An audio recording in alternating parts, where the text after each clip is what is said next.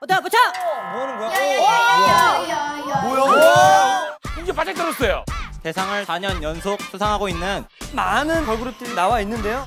이 무대에서 인정을 받지 못할 시에는 과감하게 그만둘 용이 됐습니까? 우승 국가대표 서희주입니다. 주말에 시간 돼요? 방송하는 남편 어떻습니까? 서로를 눈을 바라보시면 됩니다. 하나, 둘, 셋.